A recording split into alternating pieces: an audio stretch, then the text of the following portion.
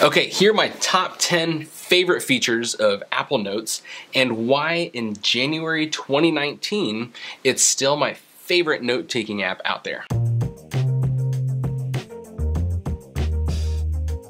Okay, last week we talked about why I left Evernote a few years ago. I used to be an Evernote evangelist, um, like doing workshops and stuff, and then Apple Notes really started adding some features and made it such a brilliant app. I left Evernote completely.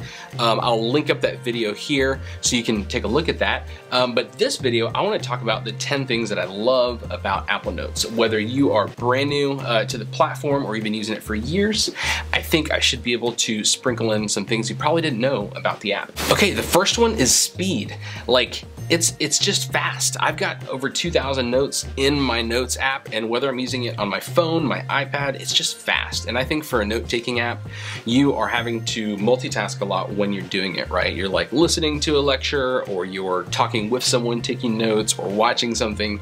So I wanna be able to open up the app, hit create new note pretty quickly and get to work. And man, Apple just nailed it with speed. The second is the ability to pin a note. So to pin a note, you just tap one button here, and what that'll do is prioritize the note by putting it at the top of the list or pinning it to the top of your list.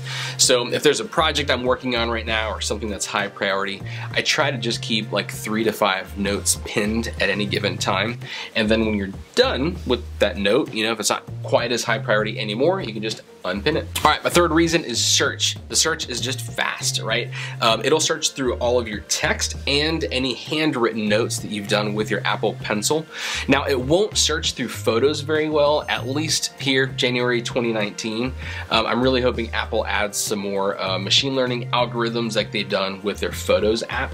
But as of now, I can't search through photos. I really want that. But listen, the rest of the search is actually very fast. And I don't use folders to organize. I really rely on search. And I can tell you the searching is it works. Next one is a brand new feature that came out with Mojave. So it's a Mac feature for, for note taking and I love it. You get to take a picture from your iPhone and it automatically appears in the Notes app on your Mac. This is great when you're like in a meeting taking notes as most people do. You can just say take photo from iPhone and you pick up your iPhone, take a picture of say a whiteboard or something you wanna remember from that meeting and boom, it just goes straight from your iPhone into that note. Okay, next is the ability to make to-dos inside of notes. So sometimes like say when I'm grocery shopping or getting ready for a trip, I'll just make a quick to-do list inside of a note and Apple's just made that really easy to just convert anything into a to-do list. A little pro tip, if someone ever texts you a list, you can just copy that, paste it into a note, select all, and then convert that whole list into a to-do. And they made that button just really fun to, to complete. It's just one of those buttons that, that they made really fun to tap. So whichever Apple designer just did that drop shadow just right, thank you. It feels great. Number six is sharing. Man, like eh, it, it's just so easy. Like you, you can take any note you want,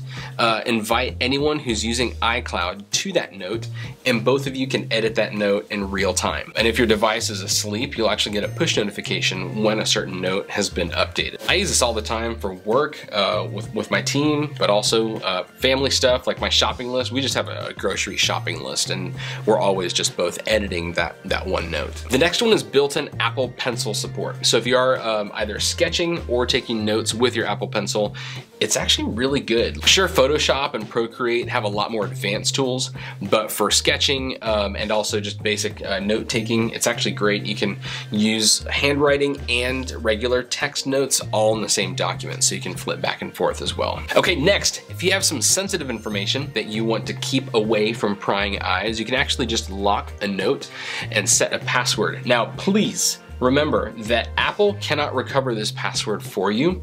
Um, so once you set a password to a note, please make sure you're gonna remember that password. I also don't recommend using a, a, locked note like for passwords. I think there's just a better way to store passwords. In fact, uh, I made a video on my five favorite apps and one of those is an uh, app called 1Password. It is an awesome password manager.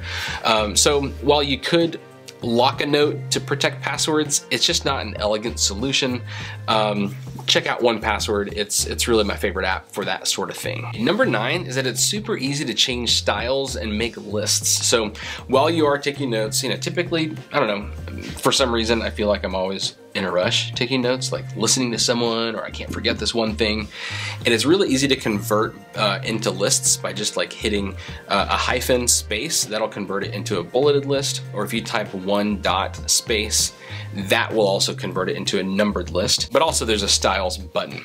And if you click that, you can quickly convert text into like a heading or a title or back to body text. I don't know, at first I, I didn't do that too much uh, a few years ago, but that really makes uh, reading back through your notes a whole lot easier uh, if you can quickly categorize, you know, paragraphs and titles. Okay, and for my 10th favorite thing about Apple Notes, this is one that a lot of people forget about, is that you can share um, stuff from other apps directly into a note. Just using the share sheet, um, you can send like websites or even map locations into a note.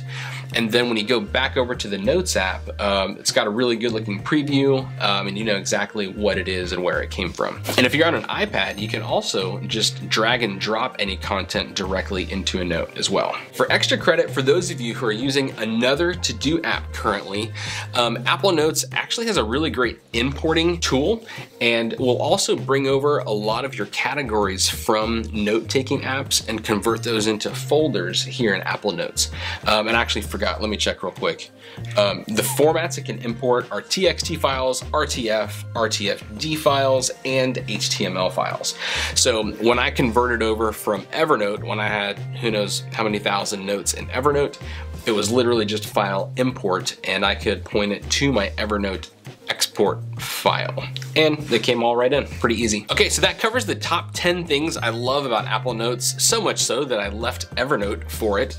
Um, if you have any other like questions or other note-taking apps, I'd love to hear about them. Let me know in the comments below.